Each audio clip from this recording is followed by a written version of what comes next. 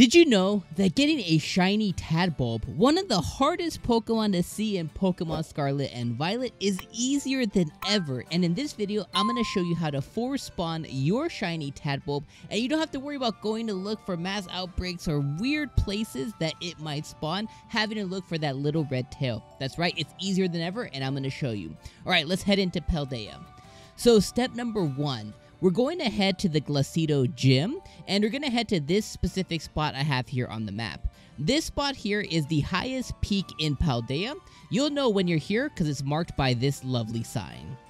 Step number two, once you're here, I need you to go ahead and throw down a save. We're going to be creating a sandwich, and I don't want you to waste any ingredients, especially that sweet, sweet Herba Mystica that we all have a hard time getting.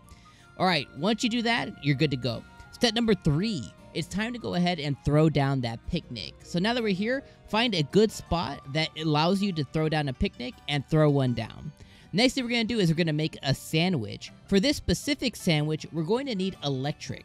So we're going to throw down one part yellow bell pepper, one part salty herba mystica, and one part spicy herba mystica. This is going to get us encounter power and sparkling power.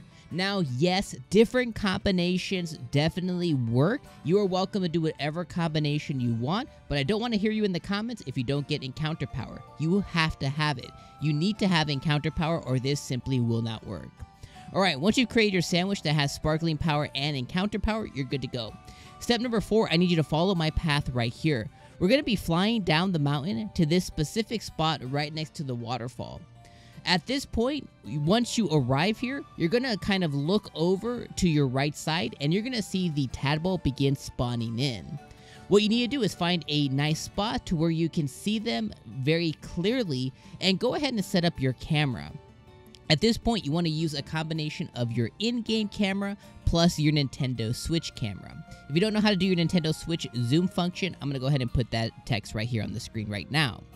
But you're going to be simply using your camera and in-game camera to look in-game camera and Nintendo Switch camera to look at each tadbulb spawn in. We're going to watch orange, orange, orange, orange, and we're going to be waiting until we get that beautiful red tail tadbulb to spawn in for us.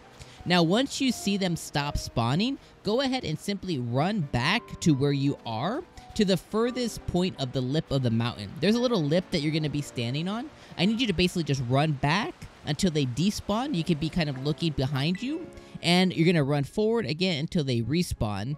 And you're going to keep wash, rinsing, and repeating this method until you get a shining. It might take you a little while. It might even take you more than one sandwich, but your patience will 100% pay off. Because when you when it does pay off, you're going to get a shiny tadbulb just like we got right here.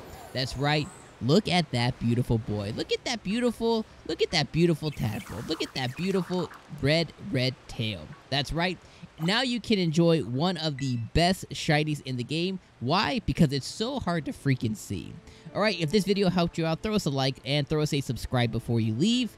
Especially if videos like this end up helping you get some shinies. Alright, we'll see you on the next one. Peace.